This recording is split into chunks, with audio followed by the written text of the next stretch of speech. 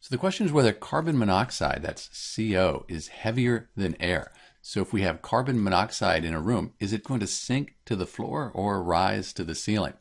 The short answer is that carbon monoxide is just a little bit lighter than air, and not very much.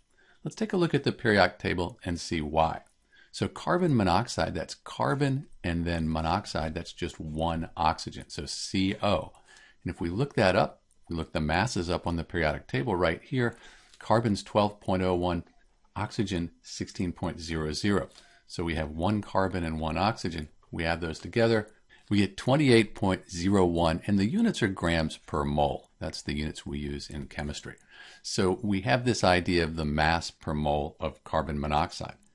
If we look at air, air is a mixture of gases. We have nitrogen gas, that's N2, and that makes up about 78% of the air that we breathe.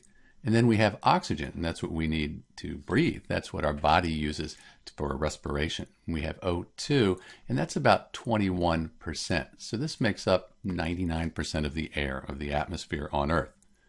If we looked at the mass for nitrogen, we have two nitrogen atoms, so 2 times 14.01 that's 28.02 grams per mole. So it's almost identical to carbon monoxide. They have the same masses.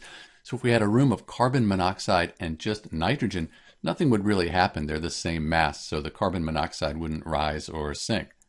For oxygen, so oxygen's a little bit heavier than nitrogen and carbon monoxide, but we don't see oxygen gas sinking to the bottom of the room. Otherwise, we really couldn't breathe unless we laid on the floor. So really, this difference is small enough that if there's any air circulation, all of these are going to mix up. You're really not going to have one rising or sinking.